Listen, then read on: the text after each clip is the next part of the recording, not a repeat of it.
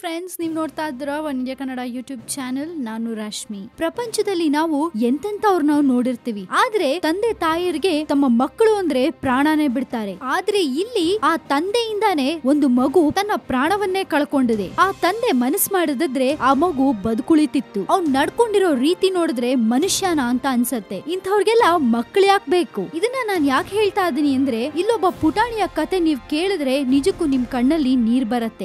ಏನು ಅಂತ ಹೇಳ್ತೀನಿ? ಕೇಳಿ, ಅಪ್ಪ ನನ್ನನ್ ಬದುಕಿಸ್ಕೋ ಅಂತ ಆ ಪುಟಾಣಿ ಪಾಪ ಗೋಗರಿಯತ್ತೆ. ಅಪ್ಪ ನಾನು ಎಷ್ಟೋ ತಿಂಗಳಿಂದ ಸ್ಕೂಲ್ಗೆ ಹೋಗಿಲ್ಲ ಫ್ರೆಂಡ್ಸ್ ಜೊತೆ ಆಟ ಆಡ್ಬೇಕು. ನಂಗೆ ಈ ತರ ಕೈ ಮೇಲೆ ಏನೇನೋ ಆಗಿದೆ. ನಾನ್ ಬದ್ಕಲ್ಲ ಅಂತ ಡಾಕ್ಟರ್ಸ್ ಹೇಳ್ತಾ ಇದಾರೆ ನನ್ನನ್ನ ಡಾಕ್ಟರ್ ಹತ್ರ ಕರ್ಕೊಂಡು ಹೋಗುವಂತ ಪಾಪ ಬೇಡ್ಕೊಳತ್ತೆ ಆ ಕಂದಮ್ಮ. ಆದ್ರೆ ಇದ್ಯಾವ್ದನ್ನು ತಲೆ ಕೆಡಿಸ್ಕೊಳ್ದೆ ಆ ತಂದೆ ಆ ಮಗುನ ದೂರ ಮಾಡಿದ್ದಾರೆ. ಇನ್ನು ಸಾಯಿ ಶ್ರೀ ಮಗು ಇದ್ದಾಗ್ಲೇ ಗಂಡ ಹೆಂಡತಿ ನಡುವೆ ಮನಸ್ತಾಪ ಬಂದು ಇಬ್ರು ದೂರವಾಗಿದ್ರು. ತಾಯಿ ಮಗಳು ವಿಜಯವಾಡದಲ್ಲಿ ನೆಲೆಸಿದ್ರೆ ಅಪ್ಪ ಬೆಂಗಳೂರಿನಲ್ಲಿದ್ದ ಎಲ್ಲಿದ್ರೆ ಏನಂತೆ? ಸ್ವಂತ ಮಗಳು ಸಾಯೋ ಸ್ಥಿತಿಯಲ್ಲಿದ್ದಾಗ ಚಿಕಿತ್ಸೆ ಕೊಡ್ಸೋಕೆ ಅವನ್ಗ ಆಗ್ತಾ ಇರ್ಲಿಲ್ವಾ? ಅಷ್ಟು ಮುದ್ದಾಗಿತ್ತು ಆ ಮಗು. ಅದ್ರ ಮೇಲೆ ಅವನಿಗಿದ್ದ ದ್ವೇಷ ಆದ್ರೂ ಏನು? ಇನ್ನು ಆ ಮಗುಗೆ ಏನಾಗಿತ್ತಂದ್ರೆ ಎರಡ್ ಸಾವಿರದ ಹದಿನಾರರ ಆಗಸ್ಟ್ ಇಪ್ಪತ್ತೇಳರಂದು ಸಾಯಿ ಶ್ರೀಗೆ ರಕ್ತ ಪರೀಕ್ಷೆ ಮಾಡಿದಾಗ ಆಕೆಗೆ ಕ್ಯಾನ್ಸರ್ ಇದೆ ಅಂತ ಪತ್ತೆಯಾಗಿದೆ. ಕೀಮೋಥೆರಪಿಗೆ ಹತ್ತು ಲಕ್ಷ ಮತ್ತು ಬೋನ್ ಮ್ಯಾರೋ ಕಸಿಗೆ ಮೂವತ್ತು ಲಕ್ಷ ರೂಪಾಯಿ ಬೇಕೆಂದು ವೈದ್ಯರು ಹೇಳಿದ್ರು. ಇದನ್ನ ಸಾಯಿ ಶ್ರೀಯ ಅಪ್ಪನ ಬಳಿ ಪ್ರಸ್ತಾಪಿಸಿದಾಗ ಆಕೆಯನ್ನ ಬೆಂಗಳೂರಿಗೆ ಕರ್ಕೊಂಡ್ ಬಾ ಅಂತ ಹೇಳಿದ್ದ. ಇಲ್ಲಿಗೆ ಕರ್ಕೊಂಡ್ ಬಂದ್ರೆ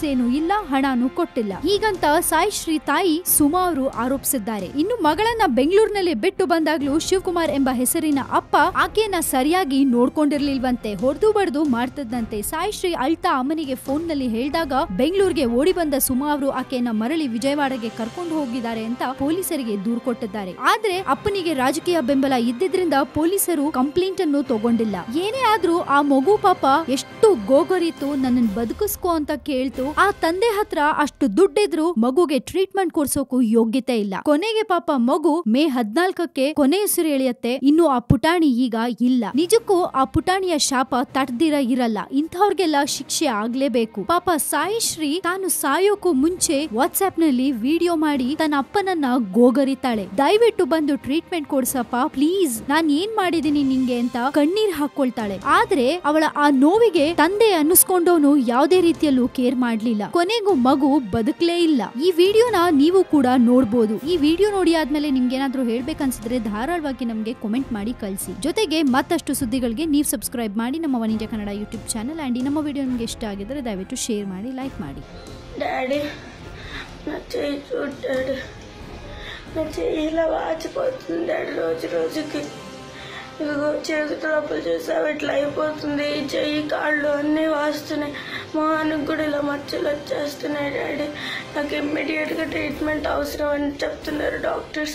దయచేసి నువ్వు నా కాల్స్కి అటెండ్ అయ్యి నా కాల్స్కి అటెండ్ అయ్యి నాకు చేపించాల్సిన ట్రీట్మెంట్ దయచేసి నువ్వు వచ్చి నాకు ట్రీట్మెంట్ చేపించు. నోట్లో కూడా అంతా వచ్చేస్తున్నాయి డాడీ.